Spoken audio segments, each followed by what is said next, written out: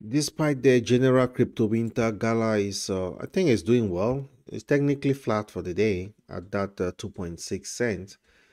It had been on a wire ride in the past weeks, and Gala is really standing strong in the gaming crypto sector, defying those bearish winds, and uh, that's currently sweeping through the crypto markets. You can tell from this, everything is a sea of red right here.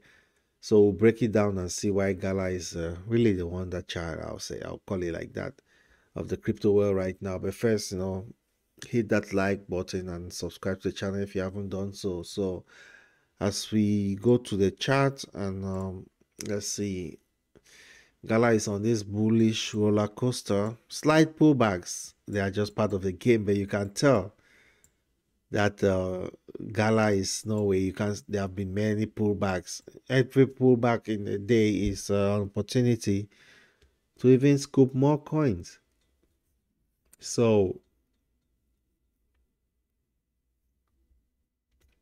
even uh, with Bitcoin facing its own share of bearish pressure, you know, Gala is is really a maverick holding its own holding its ground. So the trend lines, you know, all the AMAs, the indicators, they are all they are all in sync, pushing Gala's price up. Sure, we had this little flirtation with uh, the resistance level at 2.7 cents, but Gala seems to be playing hard to get with these levels.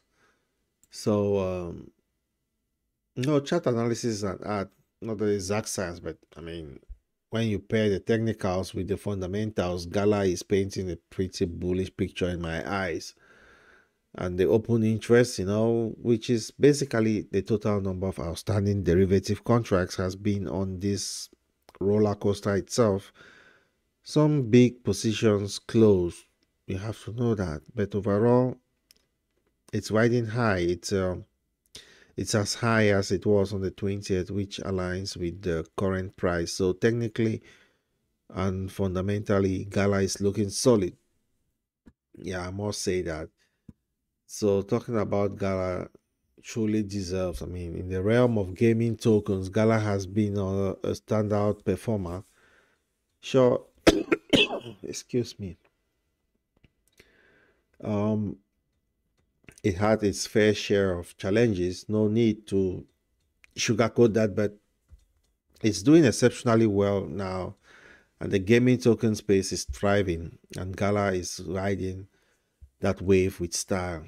So now, yes, at Lotus, right, there might be a bit of manipulation technically in the mix. So those sharp spikes and drops in the charts, you know, that's not your regular market dance.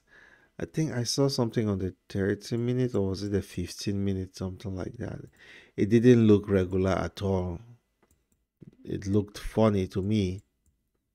Yeah, you can tell those these sharp spikes and stuff like that. It, it's clear on the 15 minutes chart where you go lower on the chart. So, um, yeah, this is not regular. It could be some whales playing their gala stash, you know, or maybe some market makers pulling strings um, it looks it's like Gala is uh, at a crypto party and you know some big players are just hitting the dance floor hard.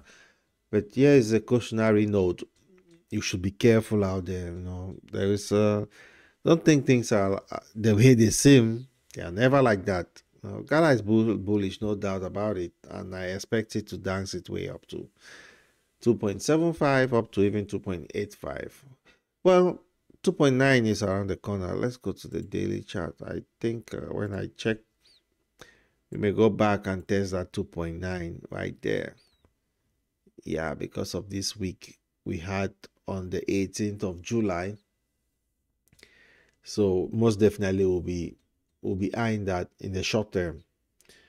So here's the deal: you should enjoy the bullish momentum while it lasts, and uh, if it conquers that 2.9 cents and maintains support, we might see it soaring to 3.2, yeah, and beyond.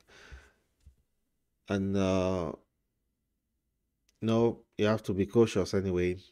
There's a hint of a slight manipulation in the air, and it's always wise to keep an eye. I must say it too. I know every time you want to listen to positive news, but uh, there are some cautionary tales for you to know things that are that are not often been spoken about.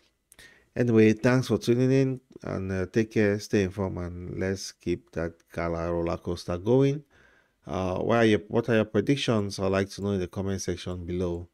Talk to you in a bit. Cheers.